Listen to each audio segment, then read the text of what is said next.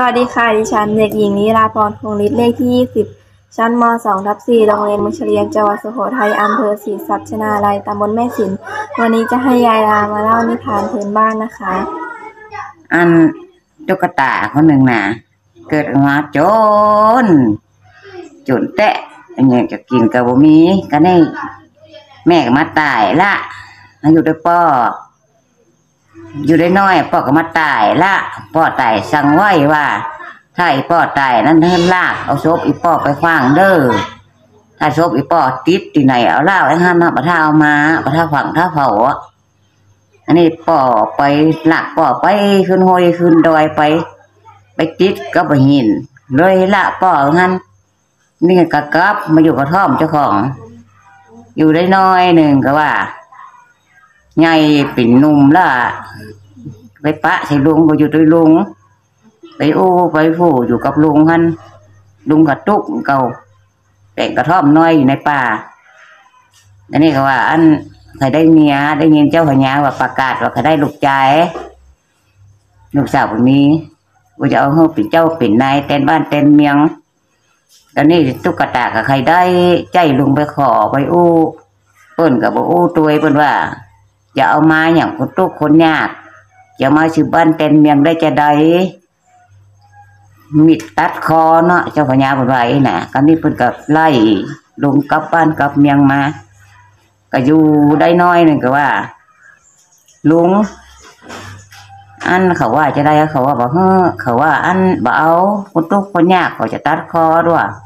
ก็อยู่ได้ลุงไปเรื่อยๆ ก็นี่ชกปอโลนแล้วก็เน่าเหลียวตะกะโล่งหัว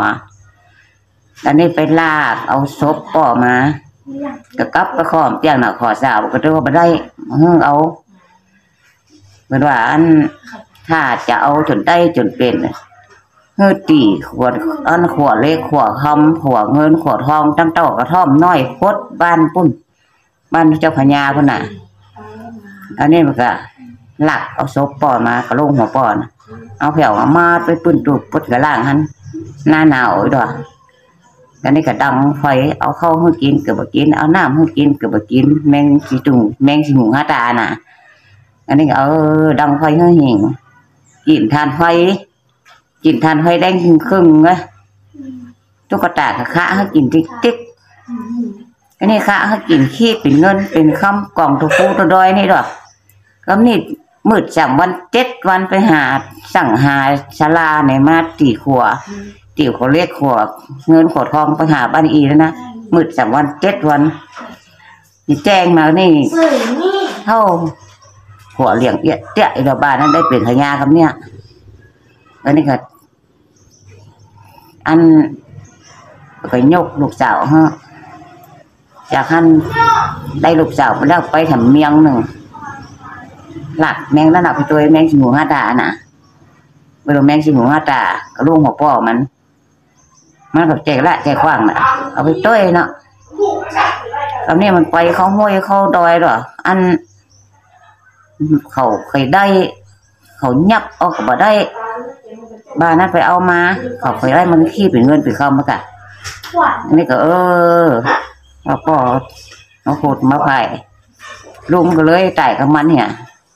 มันก็ไปอยู่กับลูกกับเมียเหรอไปเป็นเจ้าเป็นนายเป็นอันกินบ้านกินเมียง